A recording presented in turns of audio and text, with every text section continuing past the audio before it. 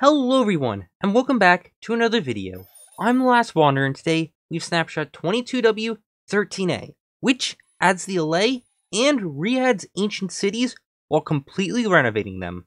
These are some pretty big changes, so let's get into them. First, we have the Allay.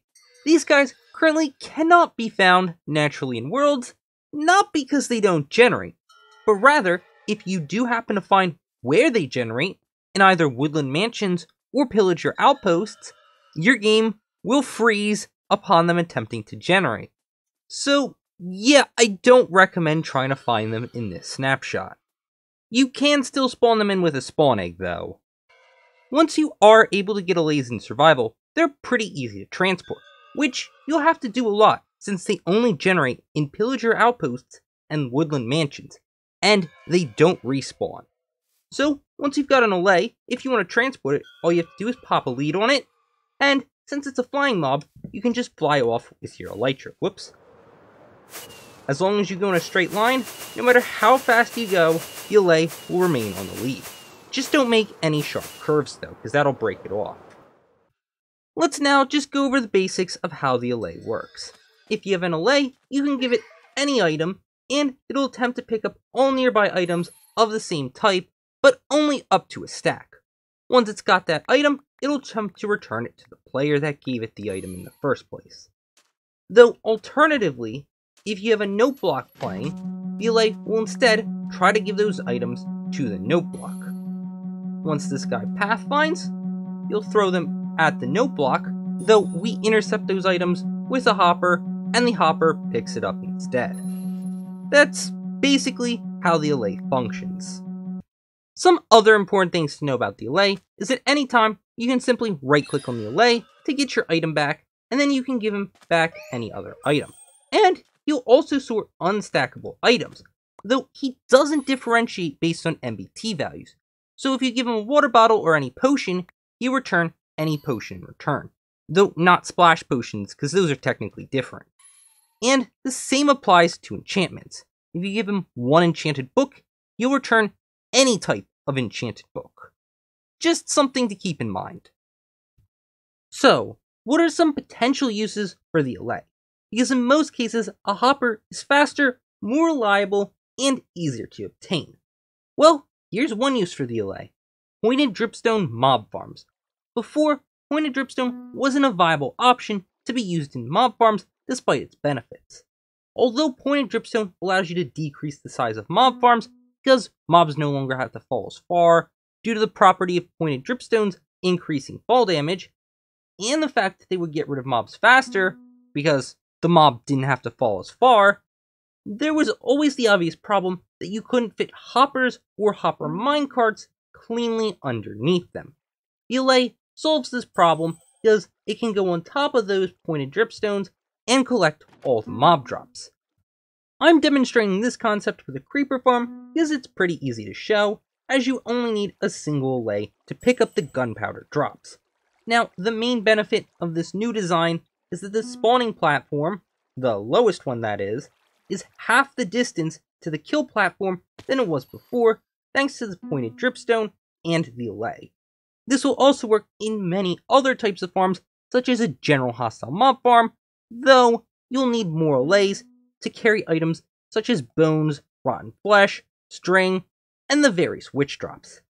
Obviously, this new kill platform is a lot better than the old one, since now you can put your mob farms slightly lower down in the world before, which will increase your hourly drops.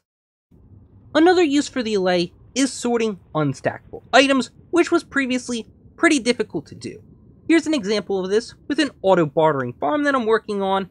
He has Piglins produce a bunch of items, including unstackables like enchanted books, fire resistance potions, splash potions, and enchanted iron boots.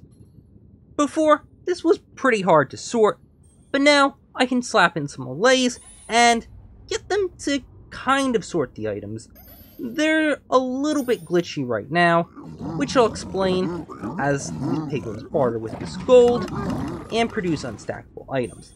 To get the Allays to throw their items at these note blocks here, I have to unpower this redstone line, and then turn the note blocks off because they make an annoying sound.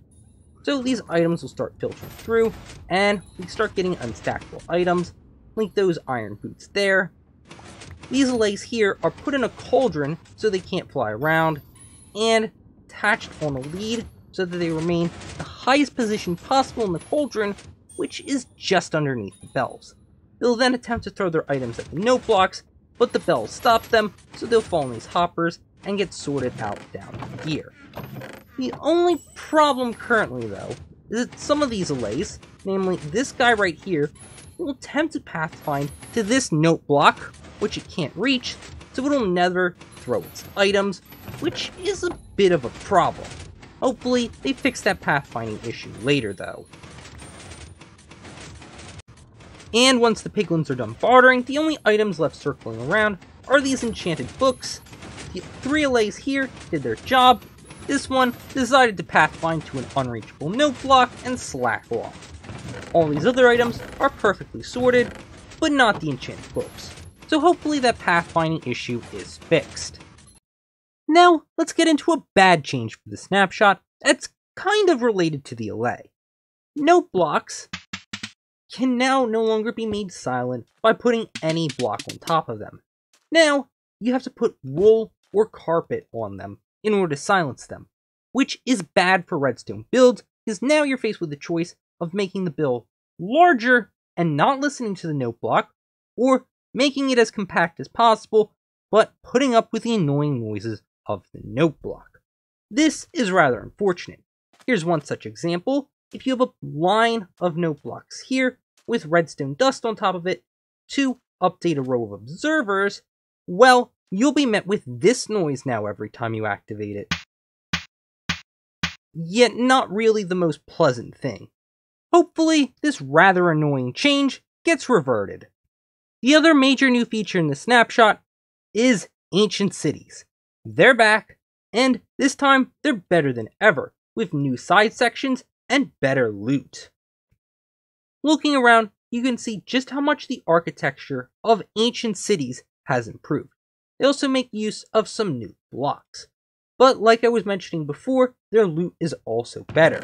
You can now find things like enchanted diamond leggings and an enchanted diamond hoe. In this chest here, there's an enchanted golden apple, amethyst shards, enchanted book, and a potion of regeneration, which will be very useful when the warden one-shots you.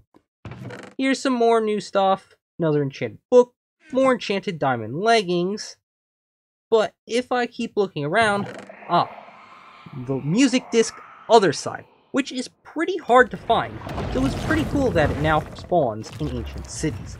There's also this room here with unique loot down here, which contains things like packed ice, baked potatoes, golden carrots, and will sometimes spawn with snowballs. So, yeah, strangely enough, ancient cities have freezers. These freezers also have some interesting redstone choices, like these note blocks that play a bell sound because there's packed ice underneath them, and this iron trap door with a pressure plate that's not needed since the iron trap door is always powered by this lever. Pretty strange. Oh, but the redstone strangeness doesn't end there. If I open this chest here, there's always a single golden carrot inside, which you might think is a strange choice. But if I stand right here and I eat it, you'll hear some pistons firing, which opens a secret redstone bunker underneath the center of the city.